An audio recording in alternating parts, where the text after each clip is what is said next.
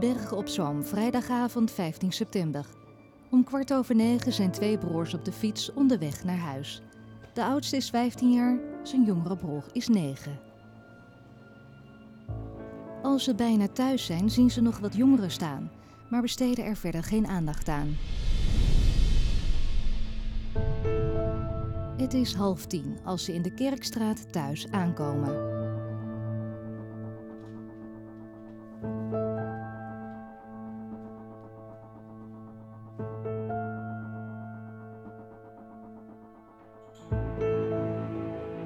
Ze zijn nog even alleen thuis voordat vader thuis komt.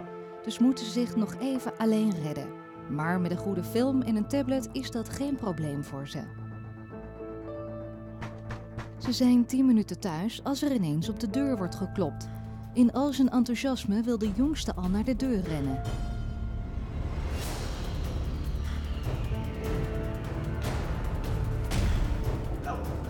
De oudere broer is totaal overrompeld. Twee overvallers stormen naar binnen, trekken hem mee en werken hem tegen de grond. Zijn broertje gaat er als een speer vandoor, maar komt niet ver.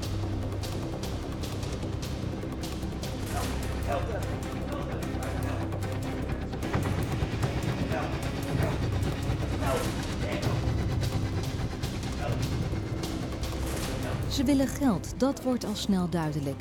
Terwijl één overvaller het jongetje van negen in bedwang houdt, gaat de ander met zijn broer door het huis.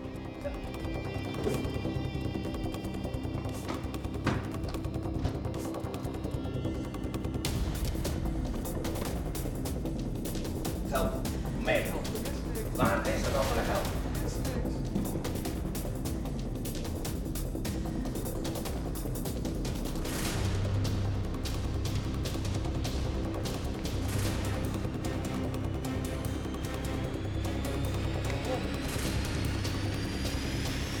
Ineens is het afgelopen.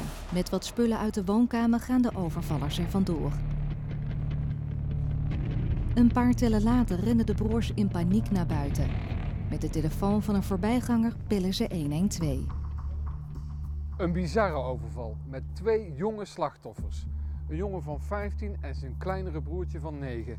En nog met wapens ook, want een van de daders had een mes bij zich. Zo'n gebeurtenis heeft een enorme impact op kinderen. En dat vergt tijd en geduld om dat een eh, plekje te geven. En wat deze overval nog erger maakt, is dat die daders ook heel erg jong zijn. Zo'n jaar of 15, 16. Alleen al hun leeftijd maakt de noodzaak ze snel te vinden nog groter. Twee blanke jongens van een jaar of 15, 16 dus. De eerste dader viel meteen op door het roodachtige camouflagepak dat hij droeg. De tweede jonge overvaller droeg een blauw vest, een grijze spijkerbroek en mogelijk Adidas schoenen. Zeggen deze signalementen u iets? Heeft u een vermoeden wie de jonge overvallers zijn? Laat het weten. Ja, en vooral ook dat roodachtige camouflagepak, want dat is toch wel heel opvallend. We hopen echt dat iemand dat iets zegt. Nou, wie weet er wie er zo'n pak heeft en er ook mee rondliep. Maar we zijn ook op zoek naar getuigen, mensen die die jonge daders hebben gezien.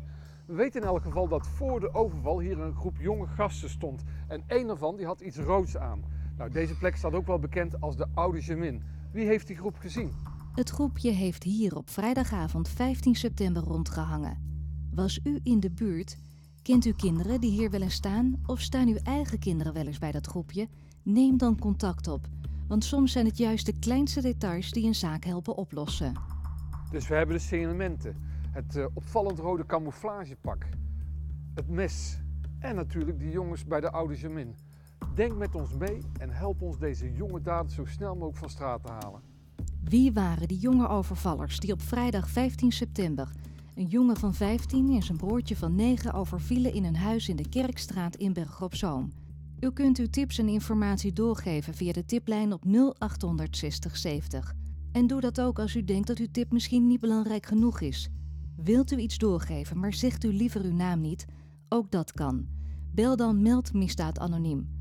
Wat u ook doet, laat van u horen.